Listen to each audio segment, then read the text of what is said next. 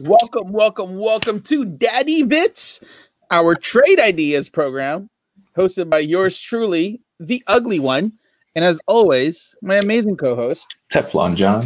Tefleezy Fosheezy. Hey, Tefleezy, are we back in the Heezy?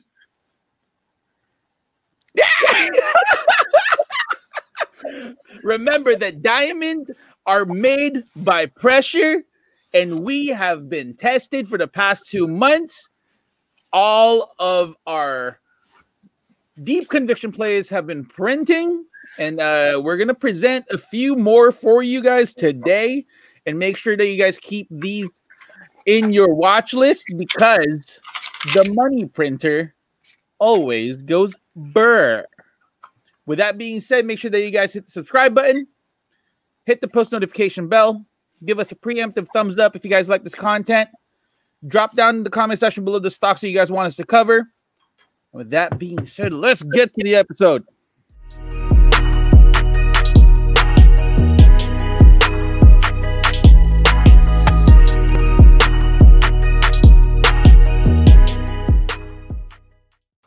The money printer went burr. Question. Answer. Hey, did you watch that Tesla video? I did watch that Tesla video. And you know what happened to that Tesla video? It's funny because we dropped it Sunday, and what happened? What happened We today? did. What, happened yesterday? What did happen yesterday? Well, yesterday. It's not like we don't talk about this stuff. no, it's uh, the the market really humbled me the past couple months. Oh yeah, for sure. Uh, but it, in all honesty, t- today was a, a you know one a, a record day. Um, my previous record was what twelve grand in a day, right? but you broke 12 bands today? Yeah, dude, I was close to fourteen. You you, you hit 14 bands today? Yeah. Congratulations. Congratulations. So you know what we're gonna do with those? With the profit? YOLO calls. YOLO calls. No, we're gonna play it smarter, bro. We're, we're gonna buy shares. We're we're we're gonna reinvest it back in the um the pot. So Definitely, definitely. Always remember boring that stuff. You take your profits and you reinvest them into you know the more high conviction plays um if you guys see profits already make sure that um if you guys aren't taking profits make sure that, make sure that you guys have a plan for that play an exit strategy so that when you do lose or the position kind of pulls back a little bit you're not thinking oh crap i'm gonna panic sell. Remember each trade has a purpose. Do not buy into the hype. Always remember that each and every single stock that you buy always has a reason why you're buying it. You don't go around buying cheapo candy because it's delicious. You know what I mean? Every single stock has a story. So uh, let's get into the market conditions for today. Uh, let's take a look at the Q real quick. John, what happened to the Q? The well, what happened with um with the boomer stocks? uh, Johnson and Johnson today announced. Well, they announced it uh, earlier before market opens that um the vaccine had some issues. It had They like also- point, it had like a point zero zero zero eight chance of you getting a blood clot. So here's the thing. I just I got my vaccine on Sunday. hmm Right, I got the Pfizer vaccine. hmm Uh, that's my first shot. And yesterday it felt like I got hit with like by a ton of bricks. Like my body was in pain. Really? Right, it hurt. But I'm I'm I'm, I'm feeling a lot better today. Uh, also, Johnson and Johnson. Don't you guys make lotion? Dude, they they make a, a lot of things. It's a 400 billion market cap. They I know them they're for in- lotion. Yeah, they're talcum powder, um, baby powder. They sell a lot of things. also it was a it was and and the reason why I wasn't really gung ho about the Johnson and Johnson vaccine is because they were saying that the efficacy is like a lot lower.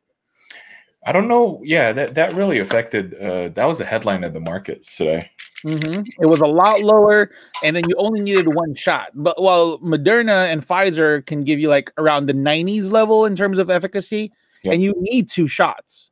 Yeah, So interestingly, how come J and J doesn't get that kind of like requirement in order for you to be cleared. You know, I mean, again, um, just a PSA.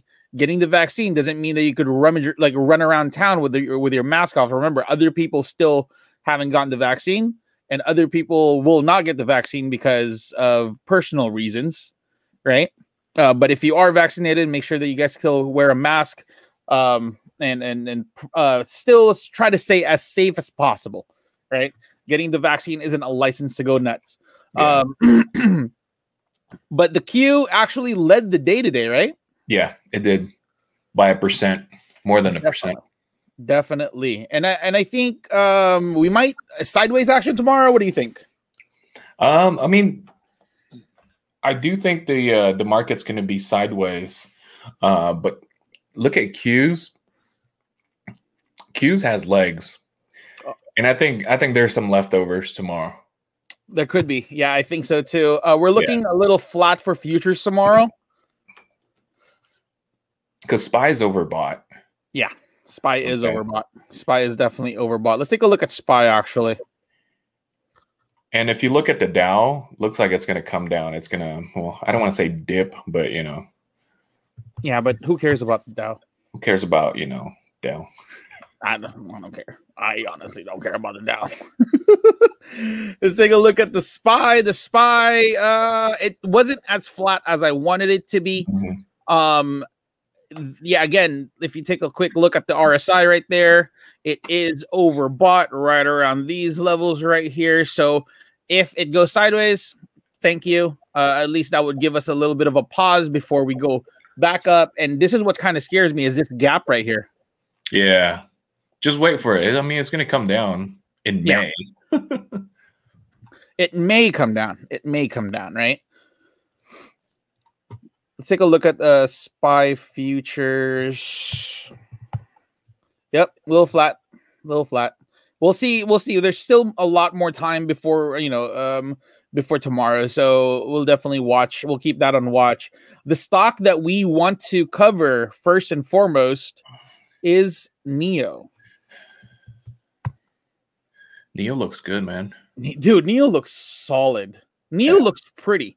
So we drew this wedge uh, a few episodes ago about NIO right around here, Yeah, you can right? take that off now because We could definitely take that off because it kind of broke right here, right?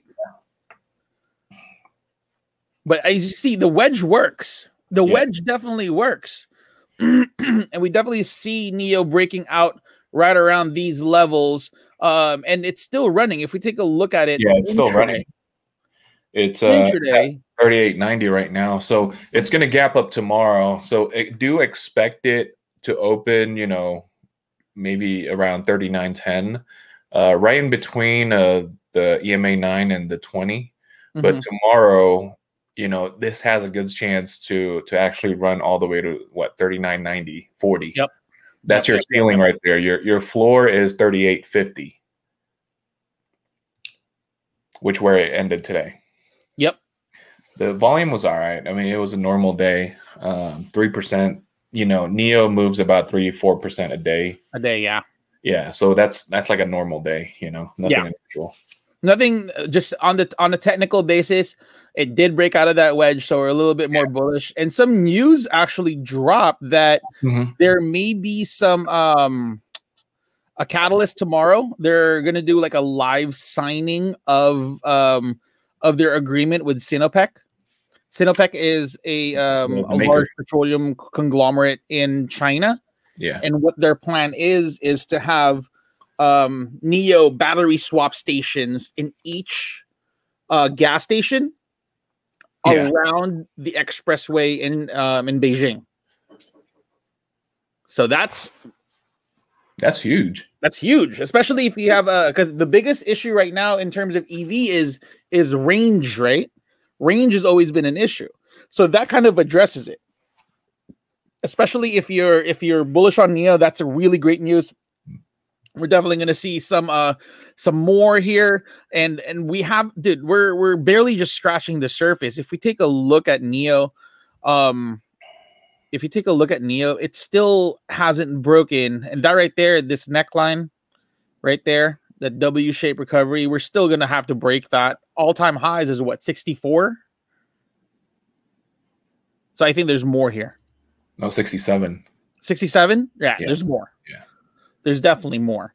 Another stock that John wants to talk about is Tilray. John, what do you see on Tilray? Um, so Tilray's been um, been beaten up uh, in the past month or so. If you guys look at the uh, the one month chart, um, came down from you know as high as 31 um, all the way to uh, right now. Um, lowest today, it hit the lowest today at 1628.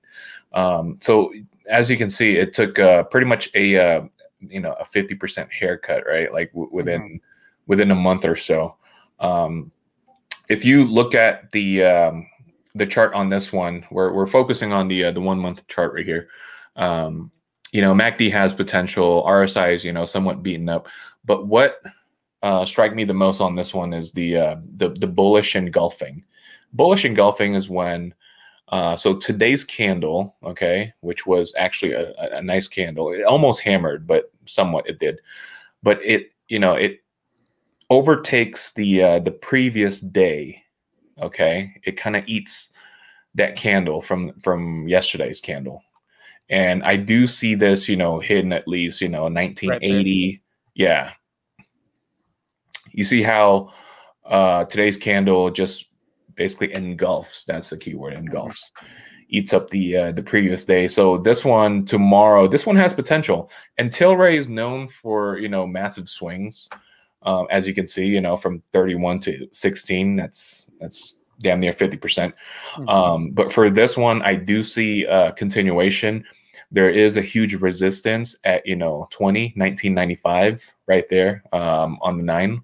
Mhm. And then really, I'm looking into um, maybe doing a, a two month or a three month out uh, calls on these.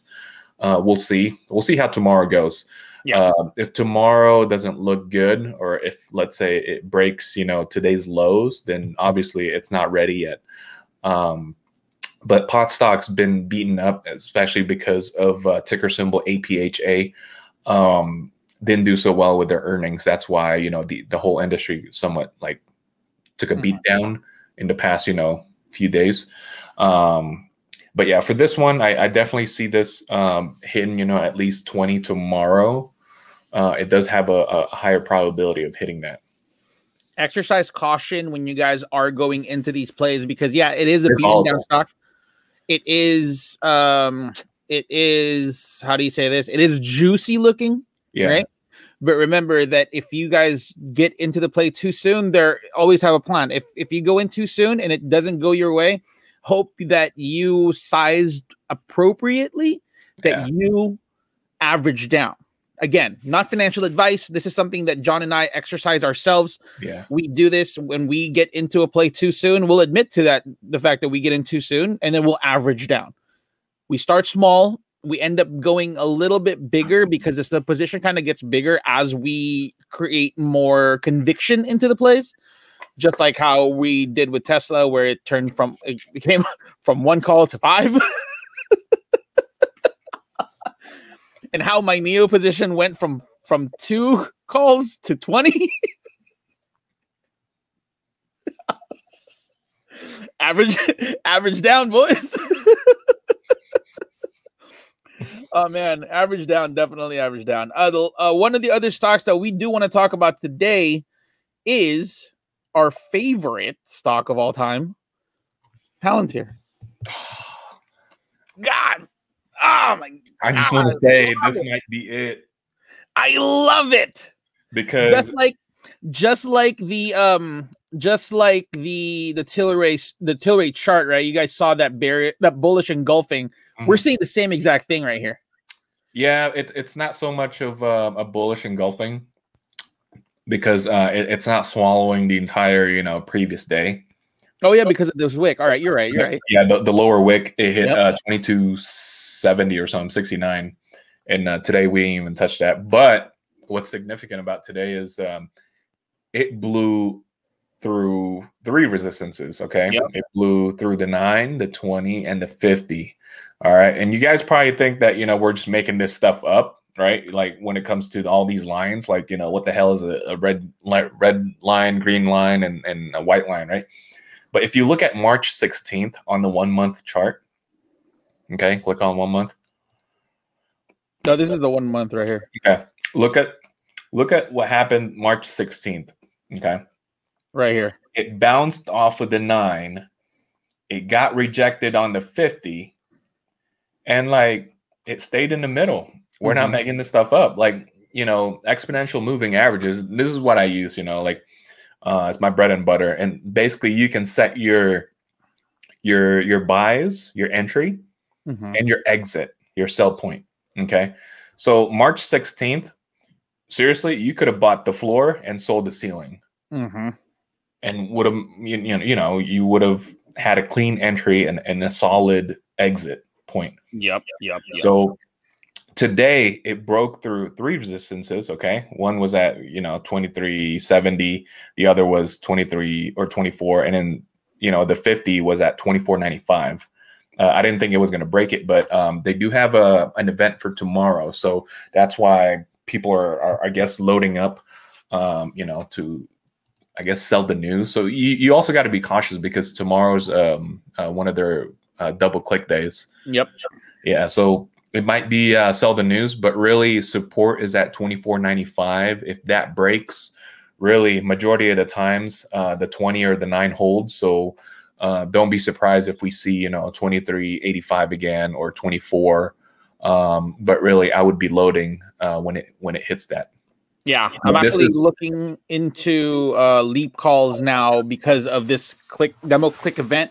Yeah. By uh, I should have I should have started a new position on Palantir in terms of uh, just a smaller uh, set of options just for the catalyst, um, and then just sell it off and then wait for another um, level of support before loading on another set of leaps for uh, 2023. But I think it's time to start looking at the 2023 calls if you are building a position.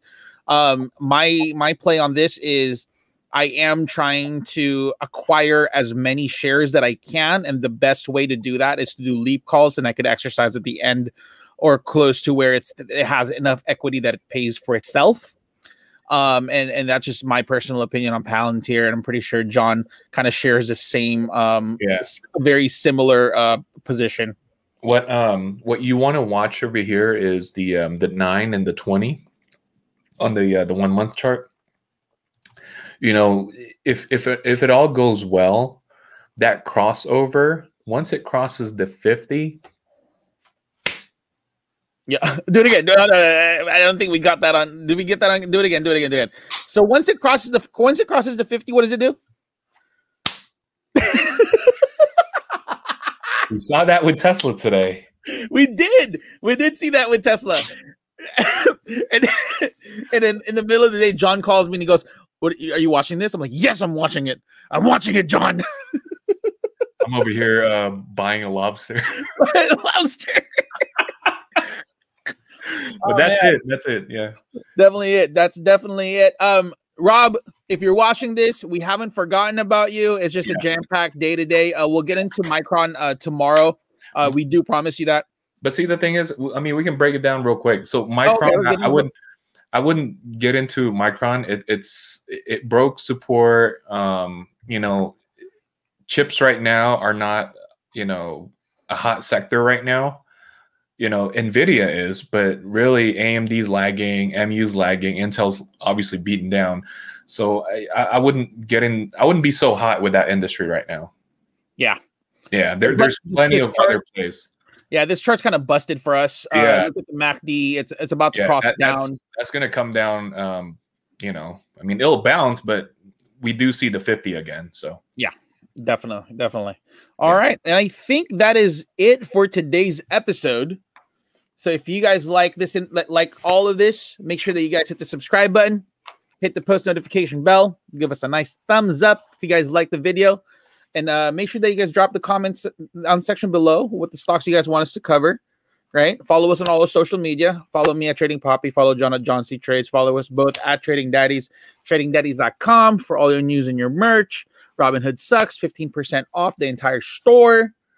With that being said, let's get trading. Yeah. And remember that the charts do not lie.